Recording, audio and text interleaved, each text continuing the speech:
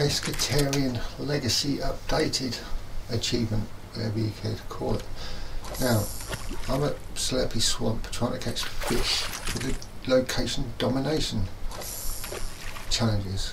And uh, not very many fish there because there's no fishing spots so I go looking for a fishing spot. Around the corner here is a fishing spot. Somewhere around here. I saw one I'm sure I did.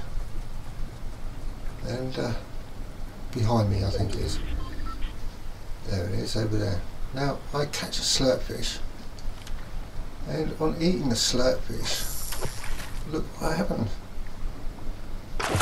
another location domination. Still got loads to go for that challenge. Eat the slurp fish. Bang! Look what happens. Pescatarian. Legacy updated. There you go. There's another one.